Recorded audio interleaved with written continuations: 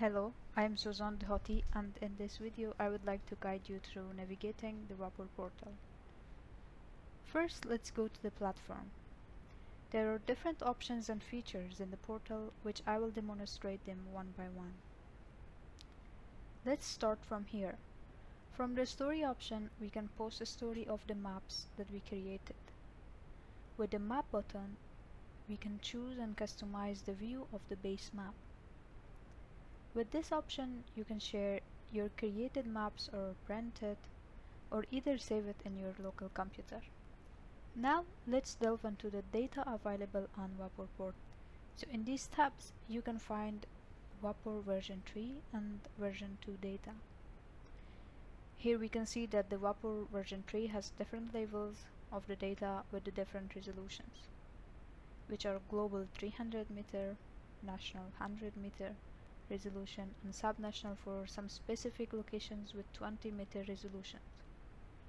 Additionally, the other different datasets, for example Aquamaps and Hand in Hand are also available on the platform. In this video I will focus on using the WaPOR version 3 data. So from Global tab I import the monthly net primary production and monthly evapotranspiration data to use it later for further analysis. And now let's have a look on these options. An interesting feature of the portal is the ability to split the screen for comparative analysis. This option allows for a side-by-side -side comparison of different datasets. For example, as I have already imported NPP and ET monthly maps so we can visually compare these two datasets. Another important feature is Draw Polygon tool, which facilitates the creation of custom polygons for specific locations.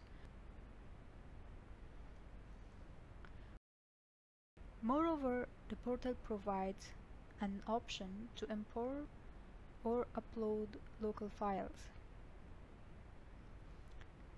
For instance, I upload a zipped shapefile of Lebanon.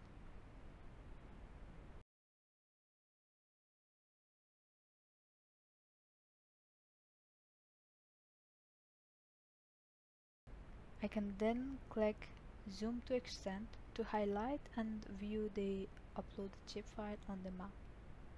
Through this video, we have covered several key features and options available in the WaPOR portal including how to draw polygons or import a shapefile.